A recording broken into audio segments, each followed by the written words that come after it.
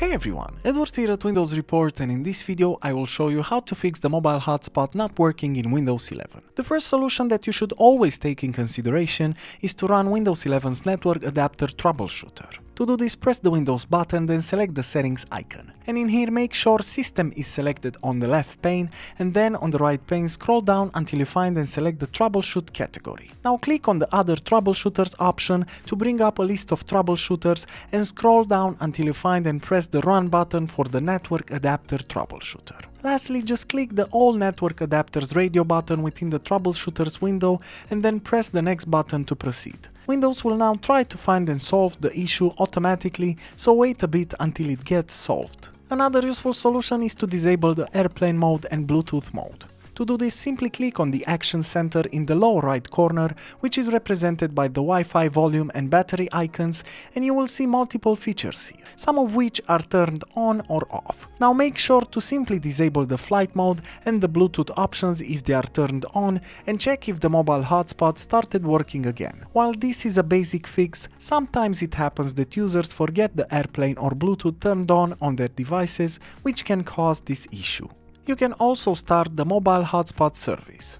To do this, press the Windows button, then type in services.msc and select it from the search results. In here, scroll down until you find the Windows Mobile Hotspot service and double-click it to open its properties window. Now simply click on the Start button to start the service and then select the Apply and OK options to save the changes.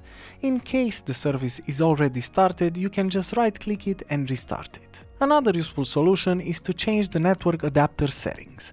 To do this, press the Windows button, then select the settings icon, and in here make sure to select the network and internet category on the left pane, and then on the right pane scroll down until you find and select the advanced network settings. In here select more network adapter options under related settings.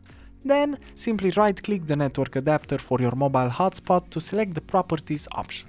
In the following window, make sure to click on the Sharing tab and then deselect the checkbox for the Allow other network users to connect through this computer's internet connection option if it's not already deselected. Now click on OK to save the changes and restart your PC. Now, if you go back just a little, back to advanced network settings, you can see the network reset option as well. It's highly recommended to try it out as a last resort to reset all your network settings to their initial state. You can also update your PC's Wi-Fi driver. To do this, right-click the Windows button, then select Device Manager from the list of options.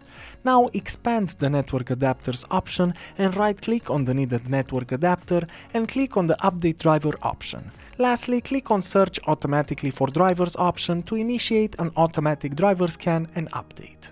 And lastly, you can also edit the registry. To do this, press the Windows button, then type in regedit and select Registry Editor from the search results. In the Registry Editor window, make sure to navigate to the following path. H key local machine, then double click on System, afterwards double click on current control set, now select the Services folder, then double click on WLAN SVC, afterwards double click on Parameters, and finish with clicking on the hosted network settings. In here, simply right-click the hosted network settings reg binary in the right pane of Registry Editor and simply select the delete options. Now you can just close Registry Editor and restart your PC to reinitialize the saved changes. And that's it, plenty of solutions to consider. As usual, for more information and details, you can check the article in the description below. And if you enjoyed this video, just make sure to like and subscribe to our channel. Thank you.